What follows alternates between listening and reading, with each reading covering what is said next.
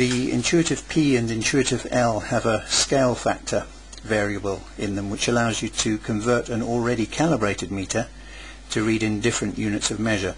For example, if you had calibrated the meter uh, in kilograms um, and you don't want to affect the calibration as such of the meter, you can change a factor, a scale factor, which uh, for example would allow you to convert from kilograms to newtons or kilograms to pounds um, and it's a very simple uh, feature to get into.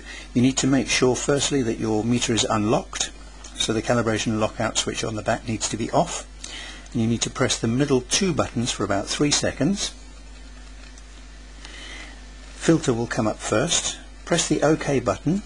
You'll next see LST which is the last digit roundup. We don't want to change that. Press the button again and we now come to our factor. Now normally this is set to 1 um, but if you wanted for example to um, convert your meter which was calibrated in kilograms to read in pounds you would change the factor to 2.205 and the way you would change your factor is use the digit button here to move from digit to digit that you want to alter and the up and down buttons to increase or decrease the value of a brightened digit.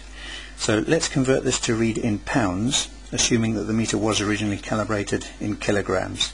So we need to set 2.205 so we change the final digit to a 5 and we move to this one and change that to a, whoops, a 2 and this one to a 2 as well and we press OK and it's as simple as that. That's our scale factor changed. It's also useful by the way for setting gravity. If you have a, a precision calibrated weighing system and you move it from uh, one part of the Earth to another where the gravity might be different, uh, you can use the factor variable to account for that difference in gravity because the difference in gravity will change the force that will be acting on your load cell.